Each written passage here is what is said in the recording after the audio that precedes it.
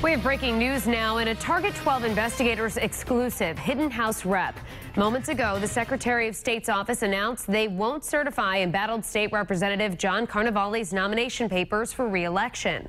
The Secretary of State's office says they're waiting for Providence election officials to decide whether Carnevale lives in his district.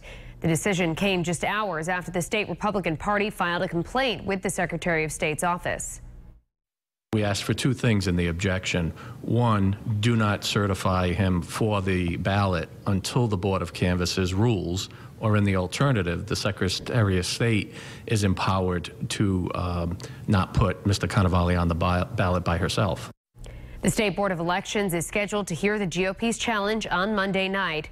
Carnevale has been under the microscope since our Target 12 investigation raised questions about where the Providence lawmaker actually lives.